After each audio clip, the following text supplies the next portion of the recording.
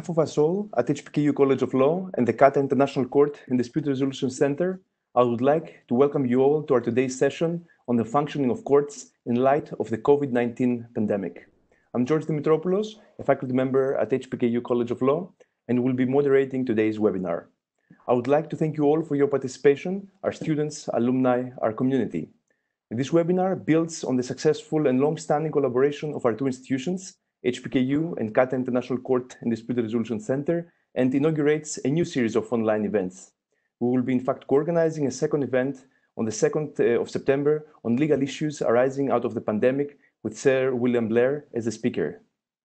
We would like to thank Lord Thomas, the President of the Court, Faisal Al Sahuti, the CEO of the Court, and of course Christopher Grout, the Registrar of the Court, for the collaboration.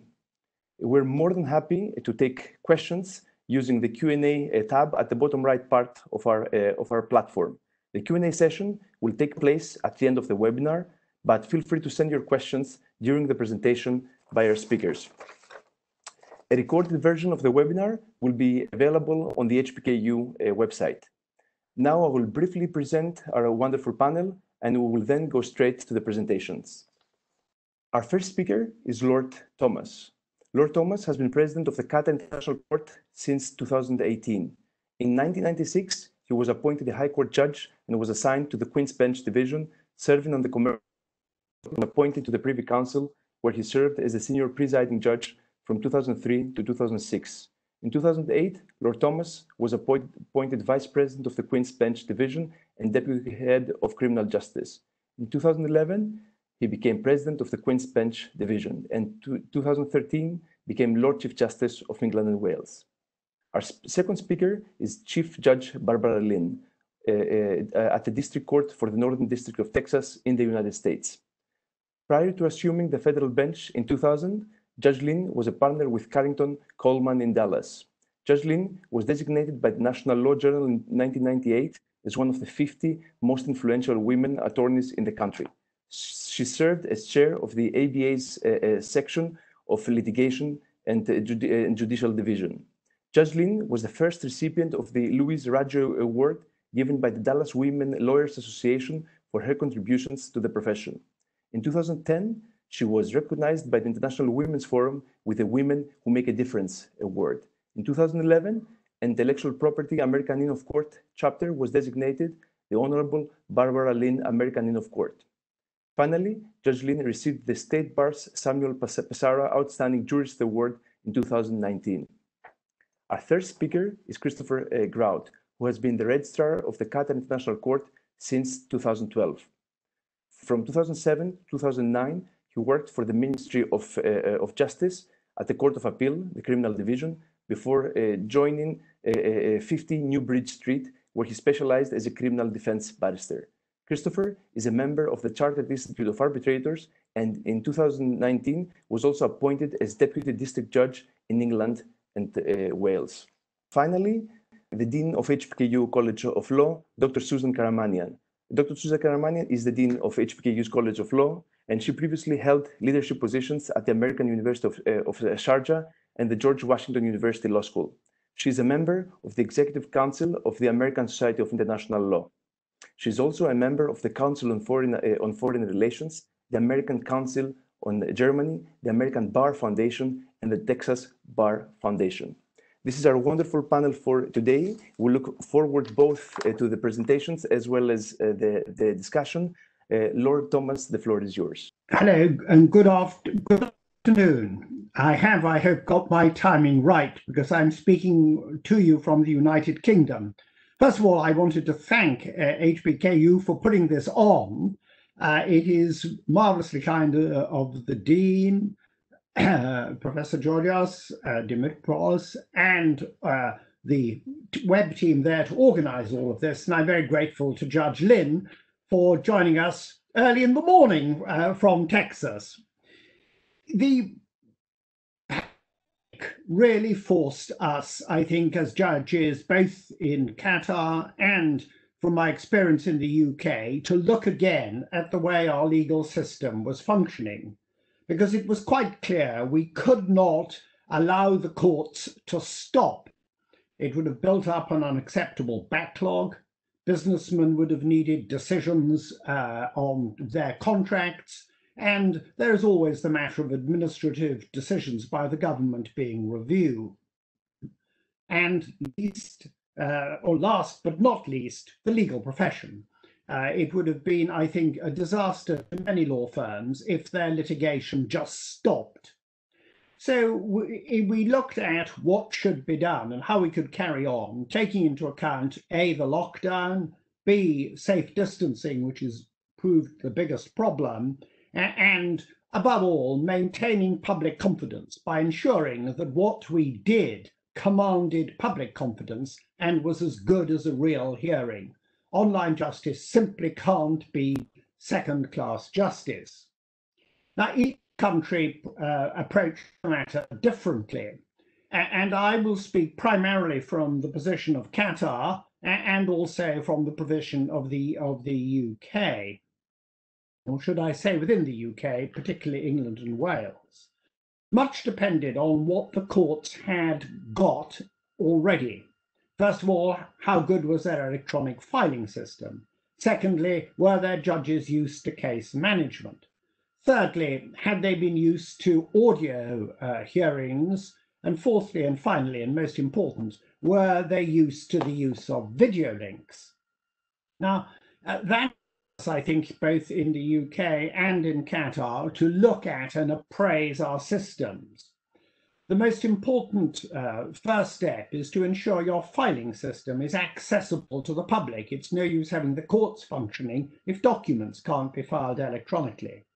Secondly, where possible, in countries where people were not as used to video links, audio hearings uh, were used. My own view and my experience has been that audio hearings will work for some types of proceedings, but they won't work for the more difficult cases. And then you need a good, therefore, you need a good video system. And there are a lot of uh, issues that you have to take account of. First, uh, and I say this with um, deference to the technologically skilled among you, the system must be relatively easy to use. Uh, secondly, it's got to cope with drops in quality. As no doubt Christopher will say, one of the difficulties we've encountered is video, the video links sometimes are very variable and problems occur if the lawyers drop out. Thirdly, it's got to have security and more of that anon. Uh, enable judges to communicate with one another, particularly where more than one judge is sitting as happens in Qatar or as happens on all appeals. But you've also got to make provision, though this is normally done separately, for lawyers to be able to, lawyers in the same team to be able to communicate with one another. And then it's got to integrate with other systems. Uh, it's got to be able to handle documents uh, that are on the court's filing system, if at all possible. And finally, because justice has to be open, it must enable integration so that the public can see what is going on. I think those are the main points that we had to take into account.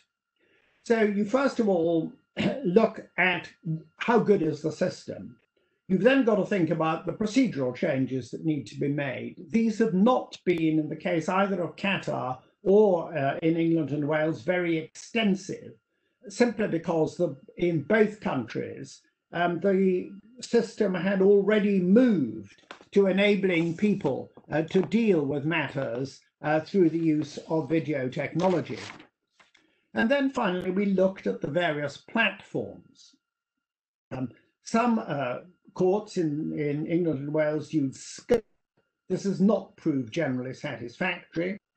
Then uh, there has been a lot of use of Zoom, uh, though questions have arisen uh, about its security. Then what the platform we're using today, Cisco's WebEx, has proved uh, very useful. Uh, that's the system that the Qatar International Court is currently using, plus the UK Supreme Court. People have also used Teams, but that doesn't seem to quite so well, and a host of other different systems, including uh, Pepix, Kinly Cloud, BlueJeans, Polycom, and others and one or two have been rash enough to try and experiment with their own systems, but that generally has not been successful. Now, what use, therefore, have you been able to make of systems? And I think here I will pause and go through my experience in the UK and my experience in Qatar. While the pandemic has been uh, in uh, play, we haven't had an oral hearing from an, on an appeal. Uh, but I have participated in one in the UK, and uh, the system worked extremely well. I was very, very pleased um, with the way in which it went. The oral arguments were very well presented. the operator of the system, and I'll come to that in a moment, was uh, very good. And um, it, it, it works fine. I don't think there are any disadvantages to doing appeals. It looks very much like uh, a real court hearing. And although people might miss the uh, journey to court, uh, it works, I think, well, and the public can easily watch in because there is no problem at all in that happening. Can I turn to, to trials? And I'd like to divide out the trials and first of all deal with our with experience in Qatar and elsewhere in dealing with what I call high value commercial type cases. Here, on the whole, uh, certainly in Qatar, this has worked very well. Um, and in uh, the UK, generally, it's worked pretty well as well. The two main concerns uh, that have arisen is, first of all, can you assess whether a witness is reliable or, more importantly, in some cases, telling the truth? On the whole, the experience, although people had been doubtful at first about it, experience has shown that it, it works pretty well, providing you take precautions to ensure that someone isn't sitting behind the camera telling the witness what to do or what to say. there then has arisen a question well, if people don't come to court and they don't know they're going to have their day in court, is there the pressure of uh, confrontation, the pressure to settle. I don't think uh, that's been a factor.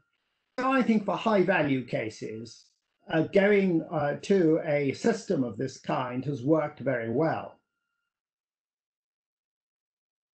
The picture is very different. I can't say this in relation to Qatar, but certainly in relation to the UK, that smaller cases have not been as satisfactory partly um, because um, the some of the law firms have not had the appropriate resources. Sometimes the judges haven't had the right uh, IT equipment, and um, it, it, particularly in family cases, though with one exception, uh, these have proved to um, be okay, but we haven't got them yet in the UK to the standard they should be at. A more dismal picture arises in relation to litigants in person.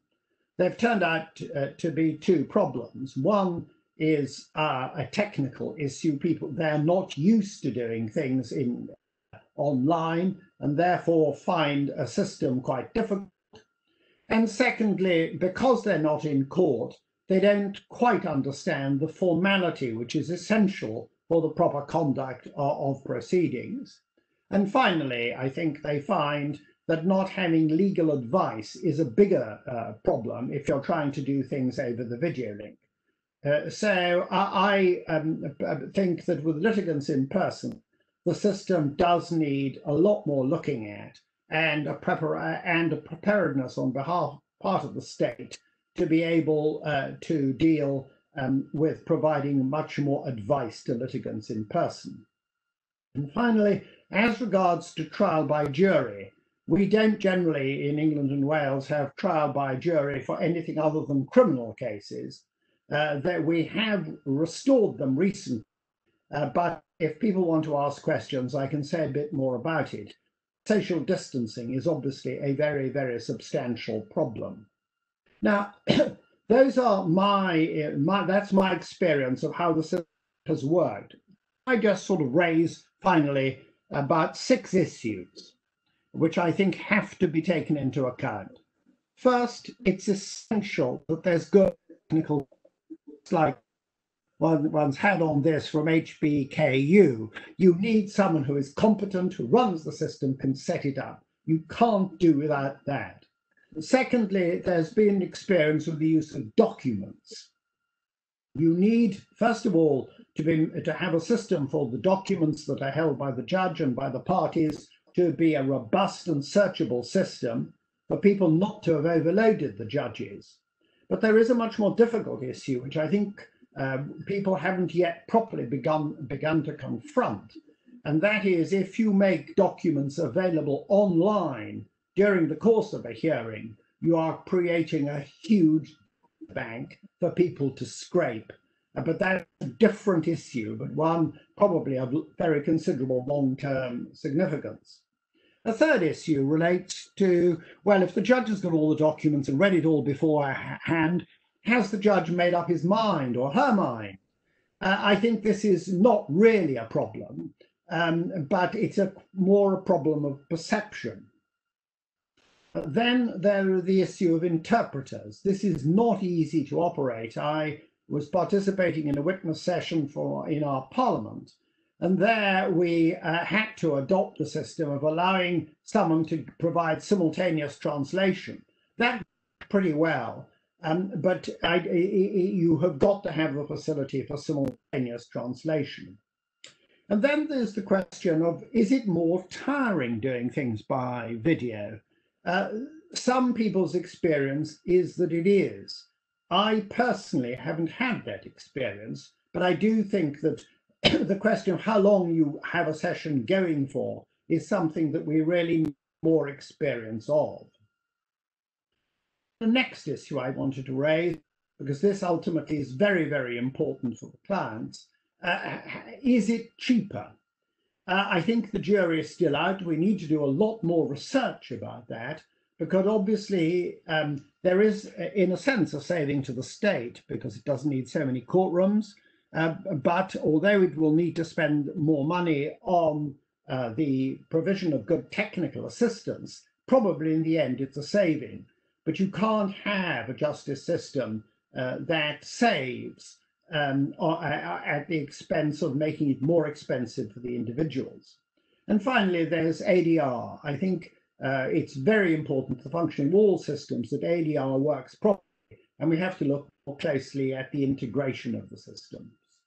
So all in all, my own view is uh, the COVID-19 uh, has changed the court system probably forever. I think we will inevitably, and this is the view in the UK and certainly my view in Qatar, that we will not go back to interlocutory hearings uh, in person, but we may well have trials. That is an open question as to when and how the pandemic will pan out. Thank you very much. I'm happy to develop any of the points. The one I've left out is jury trials because I thought to try and deal with that in the time available was too complicated. But thank you very much for listening, and I look forward to hearing from the other contributors. Wonderful, Lord Thomas. Thank you so much for the for your uh, contribution to our uh, discussion. Um, uh, I would like to uh, to remind uh, uh our uh, audience that uh, you can use the Q and A tab on the on the bottom right hand of of, of, WebEx to type in questions, please, to all panelists. Thank you so much again, Lord Thomas. Judge Lynn, the floor is yours. Thank you. Well, where I am, I will say good morning, Lord Thomas. It is a great pleasure to see you again and thank you for allowing me to participate in this interesting conversation. I'm going to pick up in just a moment where Lord Thomas left off. Uh, I think I will spend most of my discussing uh, a jury trial since uh, I had uh, the unique honor of presiding over an in-person uh, jury trial at the beginning of June, uh, obviously since the pandemic, and I have some reflections about that that I thought might be of interest uh, to our audience. But let me pick up on just uh, a random selection of thoughts uh, resulting from Lord Thomas's very interesting uh, remarks. Uh, first of all, in the United States, of course, we have uh, a number of different tribunals and we are not obligated to all follow each other. So the states have different procedures that they are employing, different technologies that they are using, I think it is fair to say that very few states have had in-person jury trials since the pandemic uh, began. And so most of them are experimenting with different types of technology using the platforms that, but there is a great uh, variance from state to state about that. Even with federal system, there are variances. Uh, judges are using the technologies that they're most comfortable with. Uh, most of us are using a WebEx platform, but uh, some are experimenting with Zoom calls. Uh, there are certain aspects of Zoom that uh, judges like better, and that particularly involves the ability to put people into different rooms during a session. Uh, all of these have their own challenges. Uh, some people worry about security with Zoom in particular, and we are all working through that. I think it is fair to say that most judges in the United States are not technologists, and so they have struggled some with these technologies. Now, at the courts of appeal, there have been for many years the ability to participate in an oral argument through remote technologies. I, about every year and a half or so, I sit as a visiting judge with the Ninth Circuit Court of Appeals. And uh, for many years, there have been hearings uh, on occasion that have been conducted remotely. Uh, typically, those are cases where a party is represented by a legal services organization that cannot afford uh, to travel to where the hearing would otherwise be conducted. So those have proceeded. Uh, there already was a technology in place to accomplish a hearing in that way, and those have continued. But for other courts, particularly trial courts, uh, the judges do not have much experience in conducting trials remotely, and so there have been some struggles with being able to do so effectively. We also are greatly challenged by the need to have remote hearings with people who are in custody in a prison setting. Uh, first of all, the pandemic uh, is raging in many of our prison facilities. That is obviously a complication for lawyers to be able to meet in person with their clients. Even when they can meet in person with their clients, uh, the technology is often not uh, sufficient to handle the load that is required we in the Northern District of Texas house many of our detainees. These are people who are incarcerated before they have been convicted because they are either a flight risk or a danger to the community. So they are being held pending trial. Obviously, that presents the need to have a trial uh, with reasonable speed. But while they are in custody, they are often housed in what are state or local facilities that are under contract to the federal government. And so those facilities have to make their detainees uh, available to other courts as well. So there is a great demand on the system, and often the systems are just not uh, up to snuff to handle uh, such a great load. Uh, along with that comes challenges with respect to the attorney-client privilege, because if lawyers cannot get into the facility, they're having conversations with their clients typically by telephone. Often those phones are in rooms with uh, personnel from the facility. And so there's a great challenge to making sure that the attorney client privilege is honored and protected. So we have, I would say, as an overall proposition, we have continued uh, to have hearings as necessary. There have been a limited number of in person proceedings. When a person is arrested, they have to see a federal magistrate judge and those hearings typically are in person. And then the person uh, has an initial appearance to determine whether they are released on bond. So we have proceeded with a combination of in-person proceedings and remote proceedings. And I'll use the phrase that Lord Thomas used, the jury is still out on whether this is effective or not. Uh, we have within the federal system very uh, excellent uh, technology professionals who work for the courts, uh, but have to interface with local facilities, and sometimes that has presented great difficulties. So that is all I will say by overview with respect to uh, remote proceedings involving criminal matters. For civil matters, uh, I think remote proceedings have worked quite effectively. Uh, lawyers generally are used to using technology in civil cases and oral arguments have been presented, I think, quite effectively. There have also been evidentiary hearings, particularly relating to injunction matters, and the lawyers uh, have used those technologies quite well. Uh, we have the same challenges with documents that Lord Thomas mentioned, and a concern about these documents being available widely and possibly being uh, subject to intrusions uh, online. So those are all things that uh, present problems that we are all trying to work through. I will spend the balance of my time talking briefly about the trial that I conducted at the beginning of June. Uh, this was a criminal case, uh, one defendant, uh, one count involving uh, possession of a firearm by a convicted felon. So it took a lot of advanced planning and I think uh, ate up a lot of resources, uh, but it was necessary, I think, and important to see whether we could conduct a fair trial uh, within the era of the pandemic. And I think the conclusion was uh, that we could, but there are a lot of uh, footnotes and admonitions that I will add when I conclude my uh, brief remarks about the trial. So we began by sending out questionnaires uh, to a large group of uh, 100 people, more people than we would typically uh, contact about a criminal jury trial of the nature I described. Uh, the vast majority of them uh, returned their questionnaires. There was a separate opportunity for them to fill out a questionnaire explaining why COVID 19 presented a particular challenge for them personally. Either they or members of their family were at particular high risk and they had an opportunity uh, to present that. After we received the questionnaires, uh, we made them accessible to the lawyers in a secure website. Uh, they were able to agree on a number of panelists that they agreed I would excuse in advance of the trial, and I did excuse them. I excused some others based on their responses to the questionnaires. And then we had roughly 50 people who were qualified, who did not have exemptions or excuses that I found at that uh, time the, in the proceedings to be tenable. So we called down to court uh, 45 people. We called them in three groups of 15 each uh, to our central jury room. They were very well spaced in that room. Uh, we furnished to them face shields so that we could see them when they were answering questions that I asked and that the lawyers asked.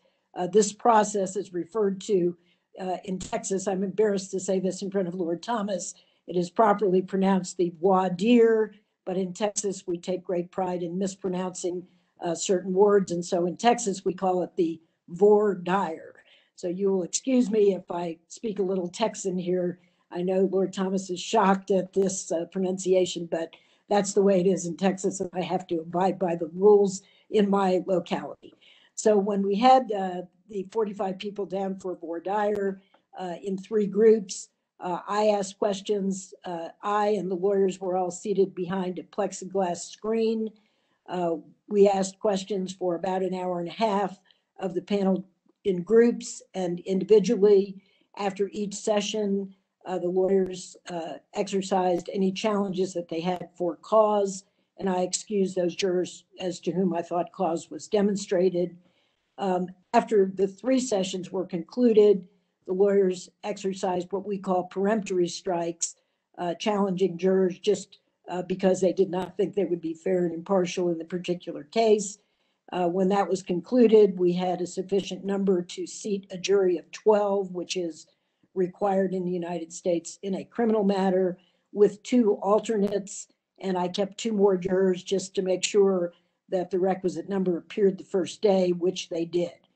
Uh, we had to transport those jurors up to the court floor. I'm in a federal building uh, that has a courthouse in it, but it is not a federal courthouse. There are other federal agencies in the building. In fact, we are not uh, the largest tenant of the building. So we transported people by elevator up to the court floor, two people at a time. I used another courtroom as the jury room so that there would be adequate spacing for them to be well spaced at more than the six foot guidelines. And they came there in the morning. Uh, I entered a special order authorizing us to give them lunch by uh, holding them there during the day. So they deliberated there at the end of the case. They had breaks there. Uh, they had lunch there, and uh, they came there in the morning, and that was uh, how we accommodated the need for spacing. Uh, when we began the trial, the jury sat in what is typically the gallery. Uh, we made the jury box the witness box. We set up plexiglass shields around the witness. When the witness uh, was seated, then the witness removed a face mask. All participants in the trial, including me, had to wear either a face shield or a face mask, uh, except for the witness during testimony, so that the jurors could see the witness and assess credibility. Uh, the lawyer lectern speaking to the jury, and therefore, because of the way we set up the trial, they had their backs to me with my permission. Uh, I had a camera at the back of the courtroom that projected the view from the point of view of the jury, and I had a monitor on my uh, bench to do that. Uh, the lawyers were surrounded on three sides by another plexiglass screen, uh, and so therefore they were protected, and the jurors were protected from them while they were speaking. Uh, we handled uh, documents by not having the jurors touch the documents. Uh, they were all made available during deliberations on a flash drive, and the presiding juror supervised that. And we had a large monitor in the what was the jury room, the other courtroom for us for them to see the documents. Um, the the trial went along uh, relatively smoothly. Uh, there were a few things I had to as we say in the States, decide on the fly uh, because I didn't have any uh, guidance for how to do this. Um, for example, uh, a lawyer moved for a mistrial, and instead of adjourning the jury, uh, I had him email me the basis for the mistrial so that I could respond to that without having the lawyers approach the bench since we were trying to achieve social distancing between me and the lawyers as well. Uh, when the case was concluded, uh, the jurors adjourned to what was uh, their deemed jury room. Uh, they deliberated in the uh, traditional manner, except that they were spaced away, and then they returned their verdict uh, at the conclusion of their deliberations. the defendant in this case was actually acquitted, found not guilty of the charges. I did speak to the jurors afterwards and had them fill out questionnaires. They all felt that we had well attended to their health and safety. In fact, they gave uh, the court a round of applause at the conclusion uh, of the case, which made me uh, feel more comfortable about the need to protect them. Um, I will say that uh, I think we demonstrated we had a fair jury. Uh, it contained a, a significant number of minority jurors. The defendant is African American, so he was concerned about that, but we did achieve a very diverse jury representative of our a community. I have two other cases that are set that are quite similar uh, in the allegations and the nature of them, uh, set for the beginning of August and the end of August. Uh, I am keeping an eye on these numbers of rising cases in my community before making a final decision. But assuming we proceed, we will proceed uh, similarly. I have been in touch with a uh, health expert uh, a specialist at our local medical school who has looked at my procedures and uh, given me comments and suggestions, but by and large has blessed those as uh, sufficient to protect the jury. I don't think we can do it this way on a very large scale, however, because it took up so many resources 17 people in our clerk's office, uh, three courtrooms, because we broadcast the trial into yet a third courtroom for those who could not fit into the courtroom given the spacing and watch the trial. Uh, we did not have the capacity to broadcast the trial outside of the uh, court because uh, we are subject to limitations uh, our, from our Supreme Court on broadcasting uh, court proceedings. But we did make it available to the public if they could get to the courthouse. Uh, but the resource expenditure was very significant. If we all have to use three courtrooms and the central jury room for an entire day, we will not be able to do this uh, in, in many cases at a time, obviously. So um, I'm optimistic that we have a, a path forward, but it's going to limit uh, considerably the number of cases that we can conduct at a time. I think I'll leave it there, subject to questions as we proceed. Thank you. Wonderful. Thank you so much, uh, uh Judge Lynn, for sharing your uh, experience in uh, conducting a, a, a, trial, a jury trial, in fact, during the uh, COVID era. Uh, and uh, the floor now uh, goes to uh, Christopher Grout, the Registrar of the Qatar International Court Dispute Resolution Center. Thank you very much, George.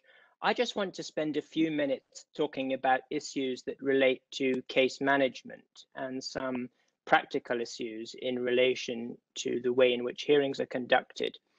Insofar as case management is concerned, quite understandably, when people are talking about the functioning of courts in light of this particular pandemic, focus is paid to the way in which hearings themselves are conducted.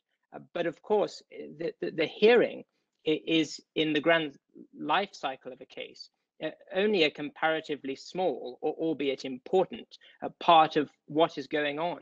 Because as Lord Thomas alluded to in his opening remarks, the filing of cases and the management of cases really occupies most of the court's time. And when you're putting measures in place to ensure that a case runs smoothly, you can't just focus on the hearing itself, but it's important to focus on all those things that need to take place both before and after. And one of my particular interests and one of the functions that I perform in the International Court here in Qatar um, re revolves around case management.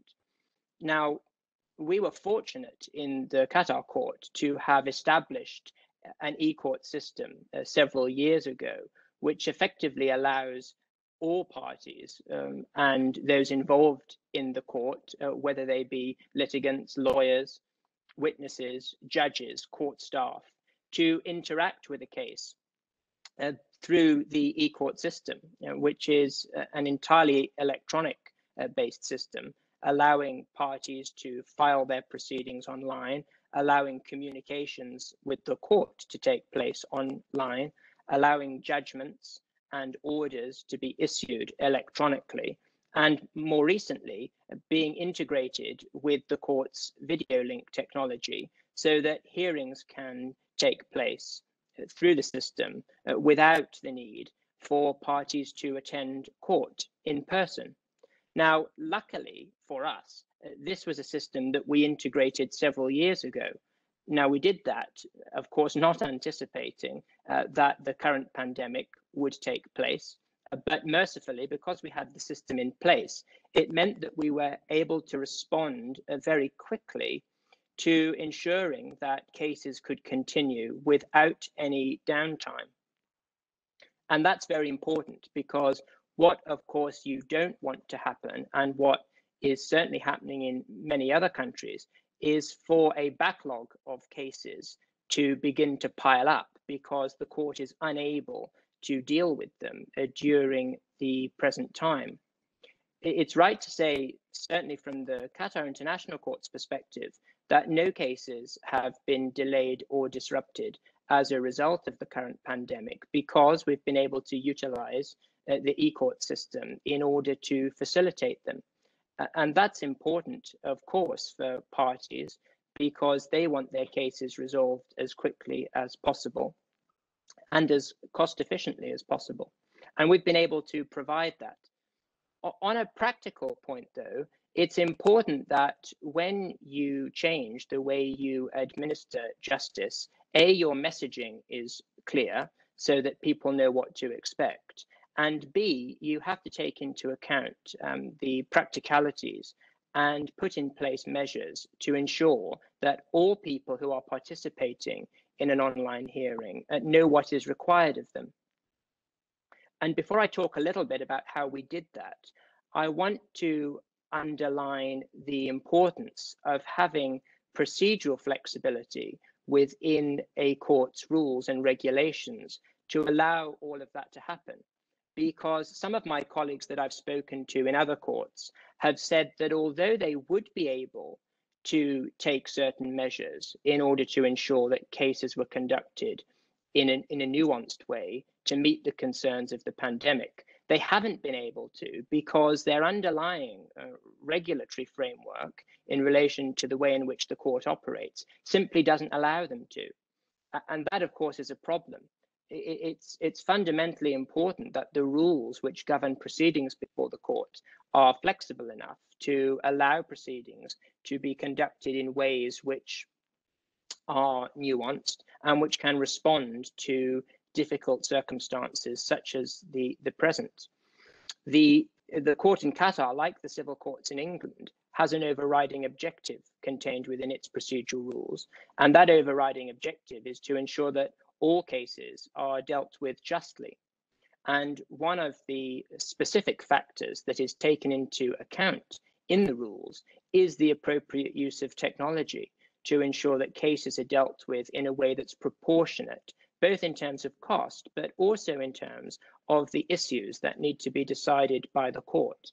And so having that procedural flexibility ingrained in the rules allows the court to respond quickly when it needs to adapt the way it operates. Uh, moving on to some of the practical issues, again, uh, uh, as, um, as Judge Lynn has demonstrated, there are ways in which you can make physical changes uh, to the way in which the court operates in order to accommodate a trial. Uh, the court in Qatar, the International Court, uh, took a different approach, as Lord Thomas alluded to, rather than making physical changes to the way the court operated. Uh, as I say, we simply moved all cases to an online format. Um, that's easy for us because we had the technology, but it's not without its difficulties and challenges. And it's best to try and confront those early on so that they don't disrupt the hearing. And to that end, what we decided to do was establish a set of what we call ground rules, which we distributed to the parties, the lawyers, and anyone else that was engaged in the case beforehand, uh, so that they knew uh, what was required of them. I won't go through the ground rules in any detail, but they covered things such as how the hearing was going to commence, what the etiquette would be in relation to those who were speaking when people wanted to interrupt, um, if there were IT issues, how those issues would be resolved, issues relating to recording. One of the one of the real issues when you're conducting proceedings over a platform such as this is that you have very little control over what people are doing with the information. So people could be uh, recording it, people could be making transcripts of it. Uh, in fact, the, the WebEx platform allows that to happen. And so the court needs to give careful thought as to whether it's going to put rules in place in relation to whether or not people can record parts of court hearings, and if they can, what they can do with that information. And we covered all those sorts of things in our ground rules. And in the event that parties had any difficulties, there were measures in place that they could contact us, whether through the system or if the problem was with the system itself, um, through email or through telephone. We uh, didn't have in the in the in the online hearings that we've done, and we've done a we've done a number now since since April. We haven't had any significant problems, but as Lord Thomas alluded to, you, there are some things you can't control and you can't control, for example, the adequacy of the technology that different participants have. And in a court like ours, for example, in the first hearing, we had participants that were not only in different physical locations, but in a variety of countries. We had participants from Qatar, from Dubai, from the United Kingdom, from South Africa, all participating in, in one hearing. And of course, when that happens, uh, the different participants are going to have different technological capabilities. They're going to have uh, different uh, levels of confidence in using the systems. And so it's important that you have good IT support in the court, which we do, in order to help people uh, understand how to use the technology and also be there in the event of any difficulties.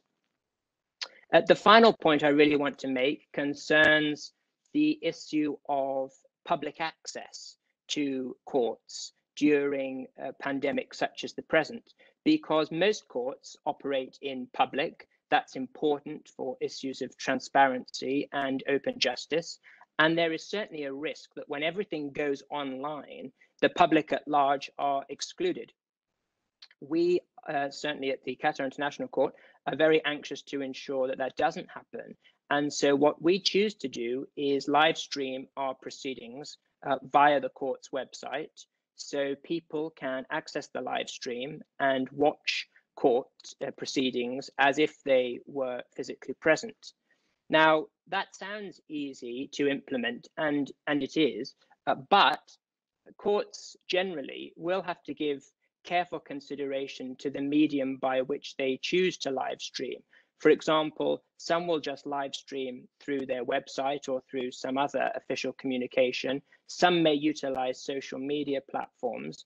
And of course, the more you broadcast your proceedings, the wider the potential audience is. And so whereas a typical courtroom doesn't generally tend to attract many members of the public uh, to come in and watch proceedings, when things are online, you may find that you soon have tens, hundreds, possibly even thousands of people uh, watching proceedings that wouldn't ordinarily do so. And so courts perhaps have to give some thought to how they manage that. But in principle, I think it must be right that if courts are being uh, conducting their proceedings entirely online, there have to be ways that the public and the media can be kept informed about what's happening. And so by utilizing uh, live streaming services, that's the obvious way to do it. It's not without its uh, difficulties and it's not without its concerns, but the principle I suggest must be the right one. And I shall leave my observations there. Thank you so much, Christopher. That was uh, extremely uh, insightful. Your experience uh, was, uh, uh, with your experience, uh, you have made possible for us to understand how a trial works at the Qatar International Court Dispute Resolution Center. And then the floor moves now to Susan. Susan, the floor is yours. Great. Um, thank you so much, uh, George. And I'd like to thank uh, Lord Thomas, uh, Judge Lynn, uh, Christopher Grout, who's also a, a, judge back in, in England, although he's here in Qatar as well, and uh, my colleague, uh, George uh, Dimitropoulos. This has been a wonderful forum so far. And I bring to the, to the discussion, having practiced law in, in Dallas, Texas for many years, many years ago, well before we had the uh, online um, uh, filing. I think online filing had just started when I when I when I left, um, and and um, so I have that perspective. But also, I'd like to to bring the perspective of, of legal education um, because how has the pandemic affected how we prepare students to become advocates, uh, whether to appear in in a hearing or to handle handle a trial. And mind you, we have differences in trial practice here in, in Qatar in, in the local courts. Uh, uh, there's a strong civil law uh, tradition. Uh, in we heard the differences between um, the United Kingdom and the United States just on civil jury trials. And, and in the United States, uh, we, we have many civil jury trials, while in the UK limited to largely the criminal cases. The second thing I would like to just focus on briefly in my remarks that has been touched on in in uh, in all the presentations today is public access issue. And two issues in particular uh, dealing with the public access are the first, the ability of the public to observe hearings and trials. Uh, we just heard uh, Christopher raise this issue in the context of, of, of live live streams. But secondly, uh, the cost to citizens to participate in lawsuits and to do so in a timely and, a, and, and effective uh, manner. And how are we going to have a broad public engagement given uh, the kinds of hurdles we've, we've, talked, we've been speaking about today? Now, in terms of the teaching, that's the first area I'd like to, to, to focus on. Um, HBKU Law School, like all the universities and law schools uh, around the world, um, um, pretty much all of them at least, have gone, uh, went online starting uh, March of, of, of, this year. And uh, the remarkable uh, conclusion is how quickly our students adapted to the online uh, medium. the younger generation, if I may call you that, or generations, are quite comfortable using the video technology and also in engaging in matters from from from a distance. And so the actual physical presence for for, for many of our students is that we have found it was not essential because so much of how they communicate is through through this medium. Um, and uh, that technology in the classroom at least enabled us to have an intense ex- exchange between the, the, the teacher and the, and the, and the, and the uh, students now, the interesting aspect of this all has been that sustaining the intensity, and as, as Lord Thomas alluded to, just you know how tired one gets, is is challenging. This is particularly true if you have a larger a, a larger group of, of, of, students. And so when you think about the engagement just in the in the in, in, in the classroom and the intensity that's involved, and you try to translate that into a, a, a, a trial or a court hearing, you can uh, uh, where there's a lot of issues that are at stake, potentially a lot of money, or somebody's life is on the line. You can appreciate the serious seriousness of the issue. Now, in terms of education, there have been these wonderful uh, developments online, but one of the ones I'd just like to focus on is the extent to which our students have now participated in, in virtual a virtual uh, moot court, the William uh, William Vis International Arbitration Moot Court.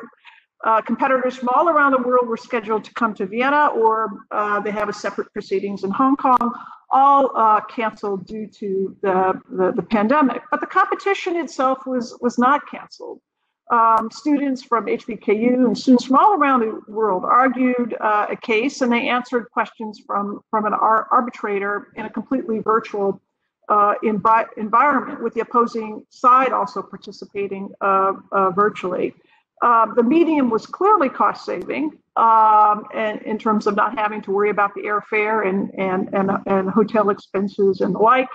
And also effectively efficient. I mean, incredibly efficient. Uh, there were no worries about visas, and there were no worries, of course, about uh, the virus. Um, I, I, was reading in advance of our session today about some of the student experiences around the world, and uh, a student at uh, a university in, in Missouri wrote something about how they felt that the, the process itself was not as um, uh, uh, intense, that the anxiety level was ratcheted down. Uh, being in a comfortable environment, being able to present from, from your own home and and and the like. But that that could also give you a sense of false comfort because you are uh, on show, and this is uh, you know a major event in your life, arguing uh, in in a in a comp- competition. Now, the advantage of the moot court uh, arbitration is that you could have a single arbitrator, you could have uh, um, uh, three arbitrators. And so the medium can be quite manageable. But when you start thinking of courts where there could be um, um, beyond a panel of three, the Supreme Court of the United States sitting as, as nine justices, or the International Court of Justice, in which 15 judges are, are, are seating, you could uh, seated, you could see some of the complications associated with that. Now, in terms of hearings as opposed to, to trials. Uh, we simply need to prepare our law graduates uh, to use technology to their uh, benefit, uh, such as ways in which their oral ad- advocacy skills could be the most effective uh, and best tailored to the medium. And also with a special focus on, on uh, listening. many times, body language was always to be a signal. Uh, but now we need to be focused probably more on, on somebody's eyes or, or their face and the like. As, as we said earlier, we don't know what's going on behind, behind, behind the scenes. Uh, and the background itself perhaps could be a form of distraction. Uh, the second issue in terms of advocacy is, is to, to be able to uh, uh, coordinate your answer, to, to listen to the judge. We always have this practice in, in, in our courts at least, once the judge speaks, you just simply stop. You cannot talk over uh, uh, the judge. But this medium sometimes um, can blur those distinctions. On the other hand, it can make those distinctions very clear, such as here, where we have designated time uh, for um, um, somebody to speak and, and, and, and the like. Uh, but the old rule of don't interrupt the judge when he or she is asking a question could play out in different ways. Um, and the third is I alluded to earlier in a couple of the presentations today is the use of, of, of evidence and uh, the need for lawyers to be able to have that evidence prepared in advance in a usable uh, uh, way. Um, and I'm just curious about, you know, for hearings, for example, um, whether we're going to see in-person hearings, the way we we we uh, heard before, are they just going to become something uh, of, of the past? Not the trial itself, but just hearings largely in which we're dealing with legal issues with with some some documents. And uh, if the judges have questions, they could uh, ask the questions through this medium, or they can just simply send questions and therefore uh, the hearing is resolved that way. I know that you know in the Northern District of Texas, in summary judgment practice was that uh, you would not have um, a live hearing. I don't know if that's the case the case anymore, but that was an accepted um, um, uh, practice. Um, I think to a certain extent, uh, the online platform has enabled uh, public access. Now, the United States Supreme Court has shied away from cameras in, in the courtroom, uh, yet it uh, has adopted, uh, through the pandemic, telephone hearings uh, to which the public now has, has access. And this is a very important development. The court allowed uh, the public to hear the argument, but only on the Friday at the end of the week of the argument. Um, and so you could go in and, and, and, get the database of the audio recordings of previous um, arguments. Um, this May, it decided to allow uh, 10 arguments to go with a live audio uh, broadcast. Um, now, the pandemic thus opened the door for anyone to hear real time the work of, of the Supreme Court of the United States. Um, the only other way you could hear it real time if the court were open was to be one of the lucky ones to sit in the audience, and they had a restricted number of, of, of, of, of seats.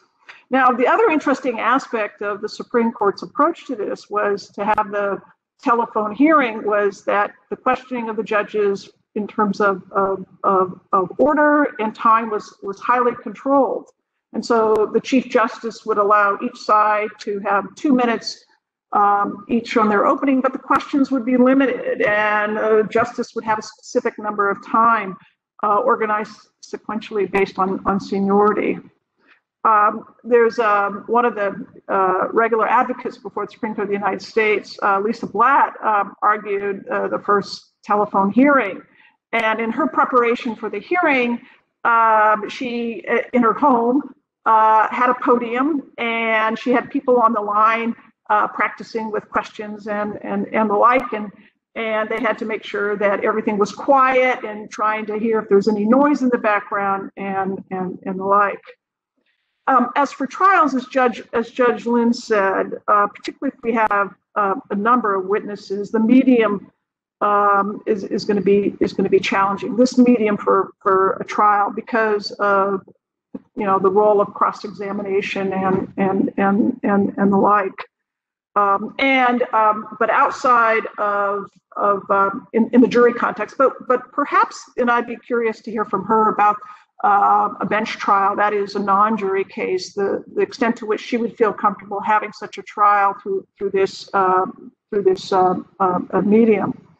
Now, on access issues, I think one one thing that we, we haven't really talked about, uh, but it, it, it came across indirectly, was the amount of resources, whether it be the Qatar International Court that just just planned in advance uh, to have a strong online presence and had resources to develop the technology and have it in place so the transition was fairly smooth, or to have the resources that the Northern District of Dallas did, at least for this one trial. Judge Lynn told you about the extent to which they have a lot of cases, you know, this concern about the backlog, how many of these can we sustain? Okay, but the need for sophisticated technology.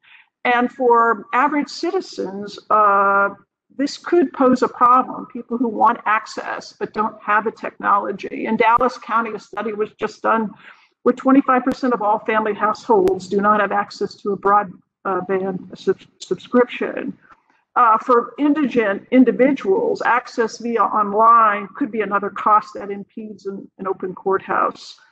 Uh, lawyers, of course, play an essential role in terms of their ability to help deal with this gap. So I would imagine there will be be more of a, a cry for um, getting lawyers to donate uh, pro bono help in, in, in this in this uh, realm.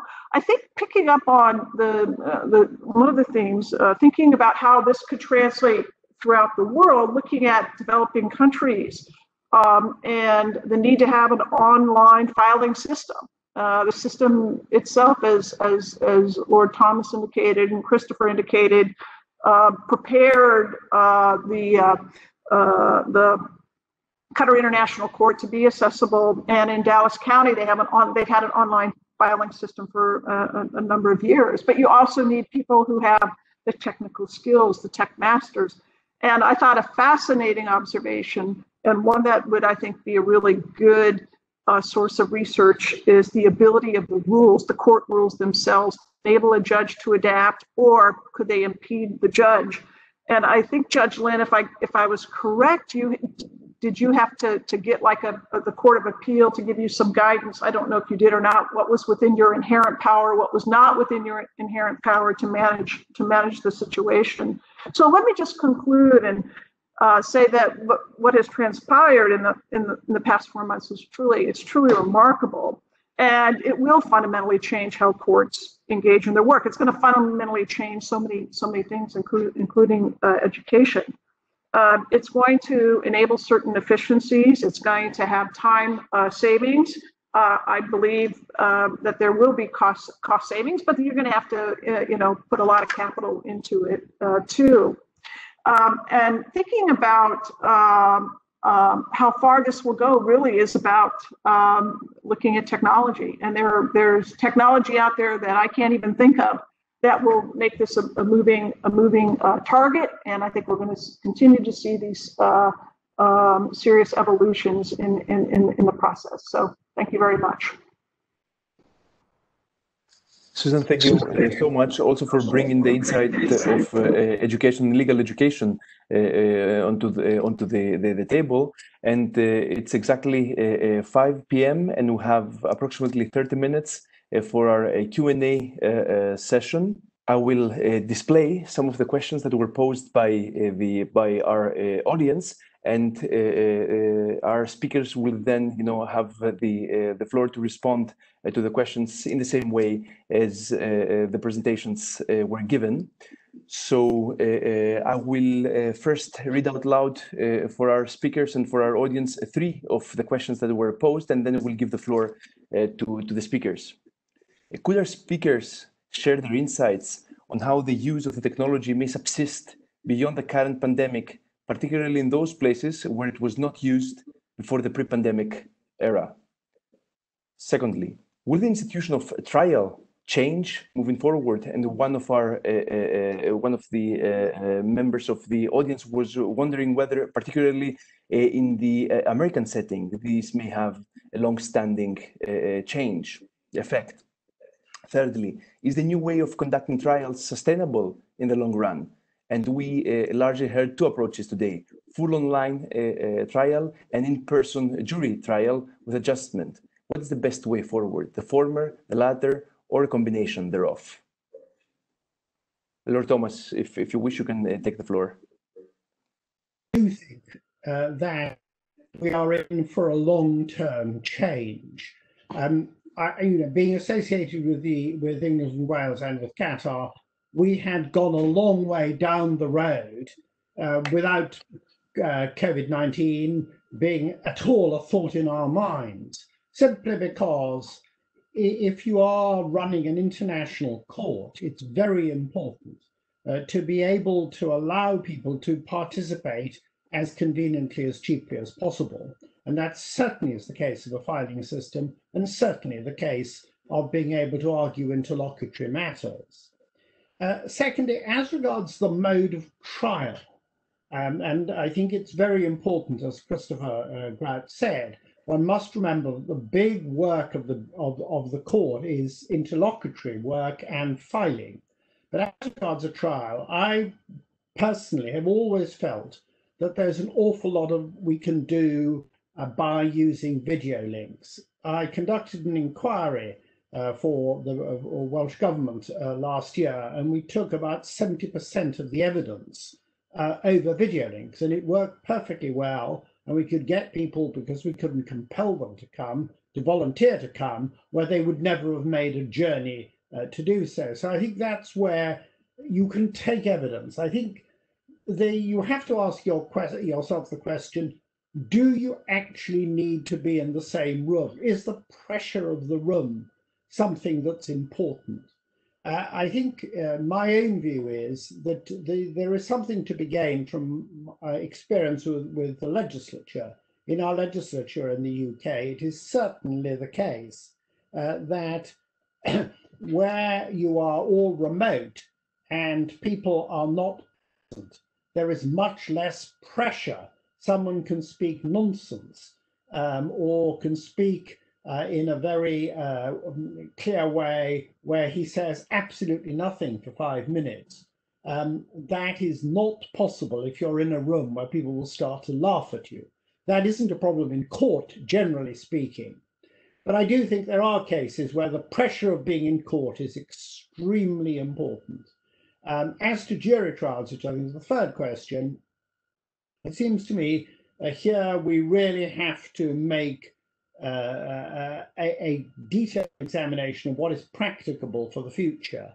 Um, certainly, you have to have the jury in a room. In the UK, there was some experimentation done uh, with having jurors at home and watching it on uh, a video link. That simply doesn't work.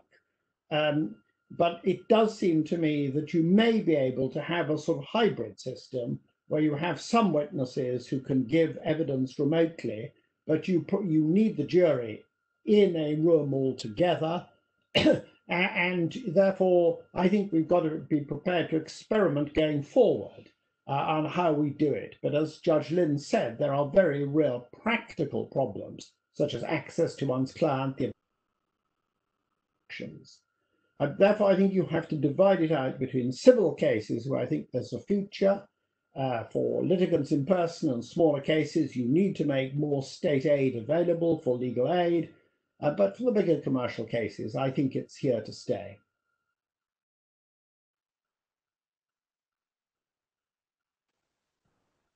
Judge Lynn? Yes, uh, let me try to answer those questions as well as a few that uh, Dean Karamanian uh, posed to me. Let me begin with the latter.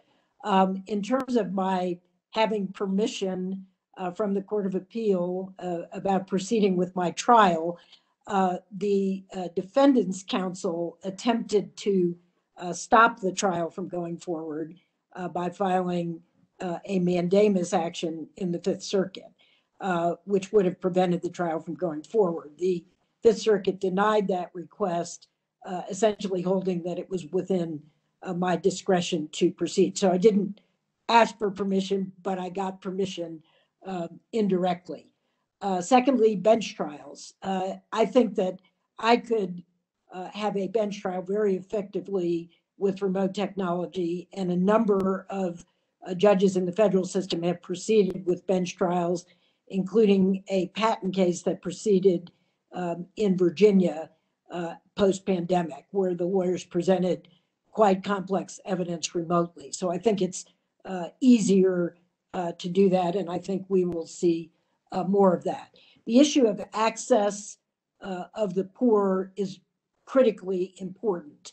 Um, if we proceed uh, to any kind of court proceeding remotely, we will, and involving a jury trial, we will have to make technology available to any of our potential jurors who do not have it.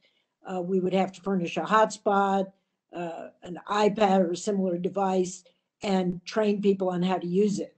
The problem is that that involves a lot of cost, and uh, the federal courts uh, do not expect to get a very generous uh, budget from our funders in Washington. We didn't expect a very favorable budget before, and now we're adding all of these technological technological developments on top of it, and we need more money, and we're very pessimistic that we're going to get it. So we can't uh, proceed in the era of high technology without having uh, sufficient funding to sustain it, and I am very concerned about that. So transitioning to the other questions, uh, technology I think is here to stay, but again, we've got to have uh, the resources to sustain using it. Um, I think that clients uh, who have had access to uh, technology and arguing matters to court are now again in discussions with their lawyers about whether it is really necessary for everyone to travel to have a live proceeding and isn't it uh, a lot cheaper for them if these are done remotely and i i have found in my own circumstances that oral arguments conducted this way have been very effective, and I think there will be pressure from clients uh, to continue that. Now, whether this will uh, institutionalize changes in jury trials, um, I think we don't know the answer to that question yet. In criminal cases, I think it won't. I don't think we will ever see a case where a lawyer will agree to a remote jury trial. And if they don't agree, I think judges will be very reluctant to impose that in a criminal case when there are constitutional guarantees of due process and confrontation, et cetera. I think we just are not going to see that in criminal cases. In civil cases, we might. Um, there was a, a trial conducted uh, by Zoom. It wasn't a real trial. It was uh, a trial that was designed to facilitate ADR, but the jurors participated and were selected uh, by Zoom technology. And courts are experimenting with this now.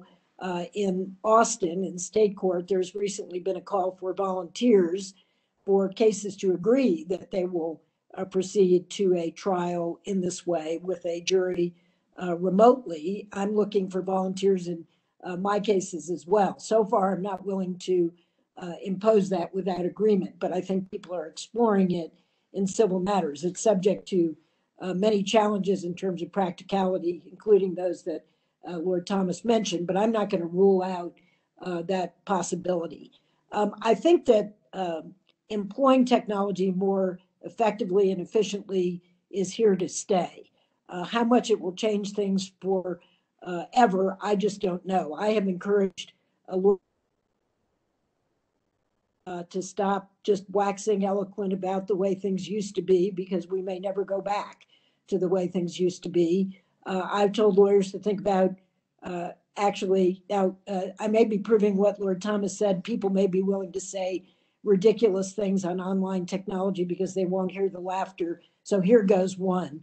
Uh, I've suggested that lawyers might want to consider the possibility of a trial outside uh, under a tent uh, in the uh, courtyard of a law school, for example, because we can distance more easily. The risks to participants are reduced if you have a trial outside. I think it could be done. You've got to worry about uh, the weather, particularly in Texas, where it is bloody hot at this time of year. But uh, I think that uh, this is a time for creativity, and I think that uh, we all should be employing our uh, creative thoughts about how to go forward, hopefully just temporarily, but maybe uh, there will be some permanent changes inevitably made. Thank you.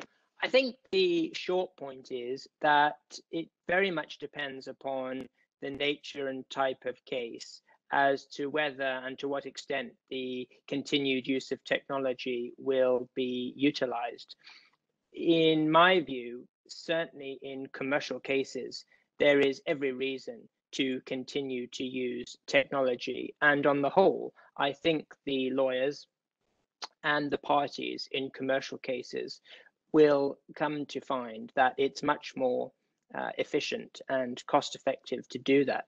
The commercial court in London and the international court here have both had huge successes in the last few months in terms of hearing and resolving commercial cases uh, through an online medium. And really, there are few, if any, uh, disadvantages to, to, to doing so.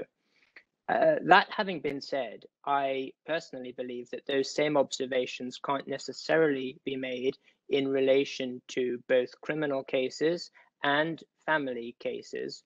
My view would be that in both the criminal law arena and the family law arena, it's very important that uh, cases are heard physically in court, uh, largely because of the severity of what is being determined. I don't think that many defendants, for example, and victims, complainants in criminal cases would feel that the justice system was necessarily um, doing right by them. Um, they may not feel that anyway, but I think less so uh, if the uh, if serious criminal cases are being determined online.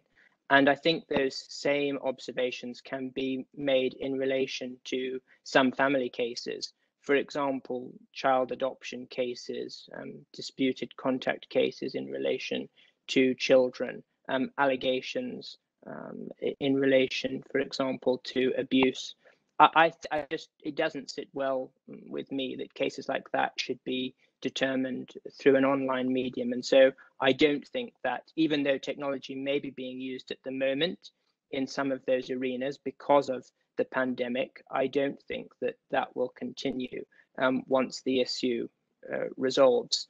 In relation to civil cases more generally, those cases that aren't commercial but that can properly be characterized as civil, I think it will um, depend very much on the nature of the case. Um, many courts are hearing and have heard civil cases online uh, before um, this pandemic in any event.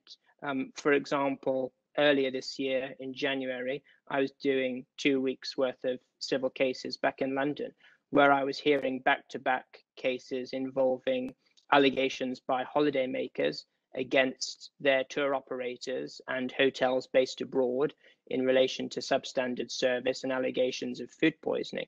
Now, this was before the pandemic, but it would be crazy to bring over the defendant and its witnesses from abroad to conduct those sorts of trials in person. And so we did back to back video link trials to hear the evidence from the defendant. And uh, as a judge sitting alone, it doesn't impact in my view anyway, um, the proceedings adversely either to the claimant or to the defendant. The evidence is the same, whether it's being heard over the video link or whether it's being heard in person. The big difference, of course, is that it is much more efficient and saves a lot of time and cost um, for the proceedings to be heard that way than to require parties to physically attend. And so, in those civil cases where it's appropriate for proceedings to be heard by video link, I think that has been happening in many jurisdictions before the pandemic. It's happening more so now, and there's every reason for it to continue to happen afterwards. Thank you so much, Christopher. Susan, please. Yes, um, if I could just respond to to certain aspects of, of, of the question and, and take us back to I think it was in the, the mid 1980s when we started to have in trials uh, video depositions. That is the use of, of testimony before trial done uh, in uh, under oath, uh, and then uh, those depositions of key witnesses who otherwise could not appear. For example, just as Christopher said, let's assume we had a defendant outside of, of, of, of the subpoena power of the court. And so we had the experience of using uh, video depositions. Sometimes they were they were highly edited, and and, and if you wanted to use uh, something to counter what was said in the video of your opposing the, the, the editing of the opposing side, you had to make sure you had a good editor to to to to to to, to have the full story. So so we had that uh, aspect of it already before uh, the courts, and I imagine uh, this has developed over the years to just an ex extensive practice. I think the most important thing, just from listening to, to everyone here, is sort of a sense of priority. We have to prioritize our cases and to think about which ones are ones that we can do completely online, which ones constitutionally are just impossible to do online. Are there portions of them, hearings and the like, that can be done uh, on on online, or are there going to be, as as Lord Thomas said, this hybrid? They're going to be, you know, that uh, we're going to set up a hybrid a hybrid model for certain um, certain cases. And so, to that extent, it, it's difficult to answer all of those at this point. But clearly, given the constitutional mandate in the United States for for in, in criminal cases, the jury trial, I could you know see serious challenges with a complete online uh, uh, trial absent consent, which would be probably not not forthcoming. I think a second thing in in in in, in picking up on thinking about what was said here today was also the extent to which when we are preparing our graduates to to work in the legal field, it's not just trial advocacy, it's also negotiations. And reference was made earlier to to to settlement. Uh, we have very sophisticated uh, mediators around the world, whether they be in local jurisdictions focused only on their own jurisdiction or dealing with international matters. The extent to which we are preparing our students as future lawyers to be able to negotiate in this medium, I think, is uh, absolutely essential. Um, how how what you say in this medium and negotiation session potentially could be taped. Um, and then, uh, you know, obviously there are going to be issues of, of are there codes to protect you in terms of secrecy and and and and, and the like. So it goes beyond uh, just the trial itself, but events leading up to the trial, way in which uh, the uh, the a case could be settled. Just another important moving target throughout all of this is the extent to which arbitration centers are rising to the fore, that are uh, getting they are prepared or dealing with uh, the fact that uh, there is a need for this this venue in commercial in commercial matters, and so if the courts can't adjust uh, there will be this increasing emphasis to to take the matter if they can through uh, through contract and have it resolved in, in in an arbitration center. So that's something I think we just need to keep our keep keep the eye on the ball. If I if I could take the liberty, uh, uh, uh Professor Dimitropoulos, of asking a, a, a constitutional question, is that okay? Or are there other questions that are pressing? I'm just curious. Yeah, I'm just curious, Judge Lynn, about the Speedy Trial Act. Uh, the requirement in criminal cases that uh, we have a certain amount of time before somebody is is is, is brought to trial. What's happening now, given given uh, the description of of uh, people in jails and difficulty of just dealing with the jail environment, let alone bringing them over to the courthouse? So, as a general proposition, the courts have entered orders that have uh, delayed the applicability of the Speedy Trial Act pursuant to a federal statute that was adopted as part of the federal stimulus package. So uh, judges, uh, generally, chief judges are making these findings under the Speedy Trial Act, and uh, trial judges are making them in their own cases uh, that the circumstances here create an emergency that would uh, delay the uh, effectiveness of the Speedy Trial Act with respect to particular cases. Now, on the other, uh, where you have cases, as I do in these two cases I have uh, upcoming, where the defendants are both in custody pending trial, uh, if we can possibly get those cases to trial, taking into account the safety of all of the participants, including the jurors, um, I think there is pressure to do so because these persons are being kept in custody, having been convicted of nothing. So uh, the, the answer to your question is there are uh, bases in the law to find that the Speedy Trial Act provisions do not apply during this emergency but there is still practical pressure to put cases to trial to give persons who are in custody an opportunity uh, to proceed and hope for an adjudication that they are not guilty. So these things are operating uh, at the same time. Now, whether we can uh, delay the Speedy Trial Act indefinitely, uh, I don't know. And I'm expecting that uh, good defense lawyers will Yep. uh, claim that their rights under the Speedy Trial Act have been uh, improperly abridged. Uh, but that will be for another court other than mine to determine. Great, thank you. Thank you. Thank you very much. We have another uh, uh, six or seven minutes uh, to go. Uh, let us ask our speakers another three questions, and then we can close. Um, two more specific questions. How is the attendance of third parties ensured in trials? And the second question, so let me project those. So how is the attendance of third parties ensured in trials? Secondly, were there any medical professionals present during the hearings? I guess this is a question addressed mostly to Judge Lynn. And finally, how can we ensure open courts in light of all the new uh, developments? I think that's an appropriate question uh, to, uh, to ask uh, coming to a close of our uh, webinar. Lord Thomas, the floor is yours. Attendance of third parties. Um, this obviously is something that isn't generally a problem, uh, simply because uh, they, these are court hearings and you can compel people just as if they were uh, as if you were present in court or if the person was present in court. I don't think that's a problem. Uh, as regards medical professionals, I leave that to Judge Lynn. As regards the future, I think there is no doubt there are there is a debate to be had, and I hope universities will do some research on this. First of all, can you broadcast legal argument? No doubt that's not a problem. should you broadcast witness testimony? I think this is a very difficult problem because you are putting terrible pressure on people. And, and thirdly, what you do about long-term access to recordings of trials and or documentation, particularly data scraping. I think these are huge issues. One has seen how data has been used to make huge fortunes.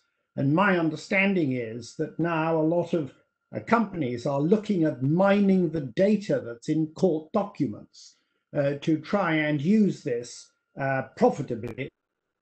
I think these are very difficult questions, and we haven't really turned uh, these issues uh, to enough public attention as yet. I'll speak uh, first to the presence of medical professionals. No, we did not have medical professionals present. Uh, I've consulted with medical professionals outside the actual proceeding for advice. I prepared a uh, handbook about my trial and sent it to uh, a medical professional for uh, comment and received interesting and helpful commentary.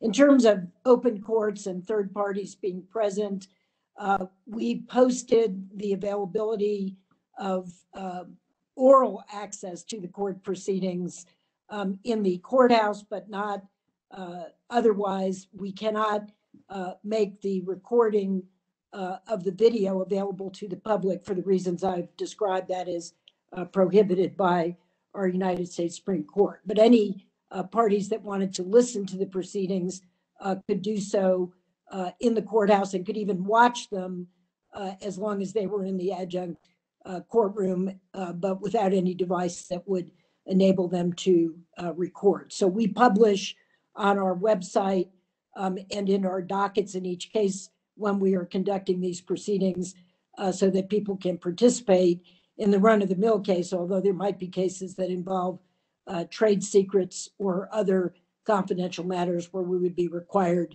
to reduce access as we would in a court proceeding if persons came live to uh, participate. Thank you, Judge. Christopher. I don't really have much to add to what's already been said, but what I would say uh, something perhaps to reflect on is that whilst it's true that the court has the same powers as it would have if it were operating physically uh, when it's operating virtually, there are, of course, practical issues. Uh, for example, when you're conducting a normal, by which I mean in person hearing, it's very unusual, certainly in my experience, for parties, for witnesses, for lawyers to, to behave in a way which is unacceptable to the court and in a way which the court has to take action. For example, either by chastising or by by um, by finding in the worst cases that, that, that someone is in contempt. That's very rare in a in a physical hearing. Uh, but when a case is being conducted purely online, although the court's powers may be the same, the exercise of them is going to be, I would say, quite difficult. Because if you have a witness, for example, who is being cross examined over the video link and they get particularly upset by a line of questioning, it's very easy for them just to press the off button. And there's not a lot you can do about it. If, if, if, if someone has simply had enough of the proceedings and they decide to switch off, what are you going to do about it? Um, uh, uh, of course, there are orders you can make after the event, but it's not going to help you with the progress of the hearing. So, although, although I agree that in theory everything is the same, there are perhaps practical issues that might arise from time to time. Yeah, I, I, I, imagine that uh, we'll just hit that uh, end button and everything will just be gone as if court never never happened. Uh, and one thing I was thinking about, Christopher, as well, when you were talking about trans-border issues, the extent to which that um, local law, in a you know, where witnesses could easily come into play more than than when we had the, the person flying over to London and, and, and the like. On the third party issue, I understood the question a little bit along the lines of could you compel um, a third party come down to the courthouse and testify and perhaps that person is is fearful of the virus? And ways in which perhaps that could be accommodated um, and be able to do um, subject to, to, to, of course, the, the parties' agreement and, and the process uh, and activities of the courts, uh, but uh, perhaps by way of video, video deposition and uh, and and the like uh, in a secure in a, in a, in a secure uh, place. That's more of a, an example of the blended approach that we were talking about earlier. I do think it's interesting that in terms of, of the, the pandemic, the extent to which, as Lord Thomas had indicated, for, for hearings that don't involve uh, uh, trials, that we are seeing an uptick in terms of public public access online to this information. Some courts having having uh, argument, whether it be by audio available real time or also uh, by by video. But I do agree with the general sentiment uh, and concerns about having virtual uh, virtual uh, trials. And so uh, with with that, I just want to thank everybody for participating. I know George will say a few concluding words too, but we also got some ideas today for additional research. So some of our students who are out here uh, listening. I hope you uh, took some good notes because some of you may be interested in writing papers on, on some of the issues that were raised uh, today. Uh, but again, on behalf of Hamad bin Khalifa University College of Law, I just want to thank uh, uh, Judge or Lord Thomas, Judge Lynn, Christopher, George for your wonderful participation and leadership in, in this event. So thank you very much. Thank you, Susan. Uh, uh, let me also add a couple of uh, words of thanks to some more people that have made this event possible. Sandia Monis at HBKU College of Law, Ezzedine Abdenebi, HBKU, as well as Tarek El Debsi from our communications department, as well as Omar Ashur from the Qatar International Court in Dispute. Of course, uh, close again by thanking uh, our audience for their patience, their questions, and of course our uh, uh, our speakers for the wonderful presentations and the discussion. We're really grateful uh, to you. And the time's been as such. We look forward to seeing you again soon in our next virtual meeting in the beginning of, of September. Thank you very much again. Thank you all. Bye-bye.